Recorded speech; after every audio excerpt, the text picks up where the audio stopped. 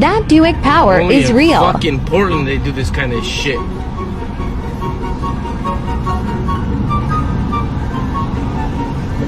Bam! Nothing but horsepower. Check it out.